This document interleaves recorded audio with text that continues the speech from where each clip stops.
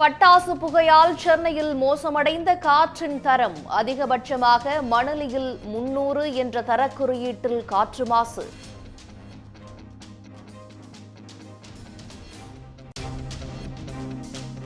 சென்னையில் குவிந்துள்ள பட்டாசு கழிவுகளை அகற்றுவதில் மாநகராட்சி மும்முரம். பதினைந்து மண்டலங்களிலும் விடிய விடிய தீவிரமாக பணியாற்றும் ஊழியர்கள்.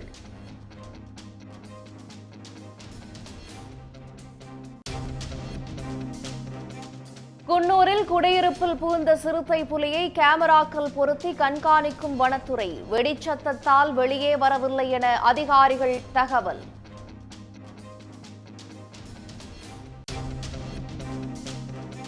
மின்னொளியில் ஜொலிக்கும் அண்ணாமலையார் கோயில் கோபுரங்கள் வரும் பதினேழாம் தேதி கொடியேற்றத்துடன் தொடங்குகிறது தீபத் திருவிழா.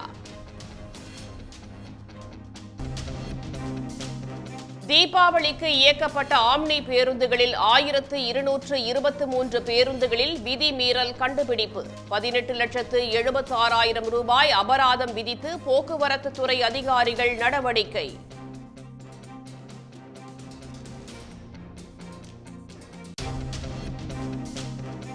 வங்கக்கடலில் நாளை காற்றழுத்த தாழ்வு பகுதி உருவாக வாய்ப்பு. நாளை மற்றும் நாளை மறுநாள் ஒன்பது மாவட்டங்களில் கனமழை பெய்யும் என தகவல்.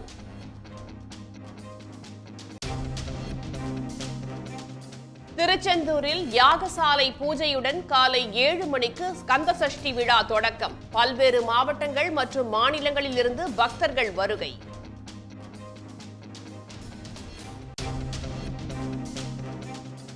சேலம் மாவட்டம் ஆத்தூரில் பட்டாசு விற்பனை மந்தம். இரண்டு கோடி ரூபாய் வரை விற்பனை பாதிப்பு என வியாபாரிகள் வேதனை.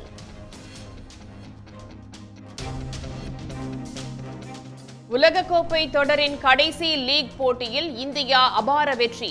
நெதர்லாந்து அணியை நூற்று அறுபது ரன்கள் வித்தியாசத்தில் வீழ்த்தியது.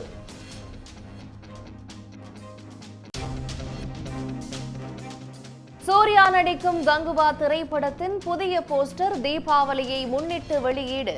அடுத்த ஆண்டு கோடை காலத்தில் படம் வெளியாகும் என படக்குழு அறிவிப்பு.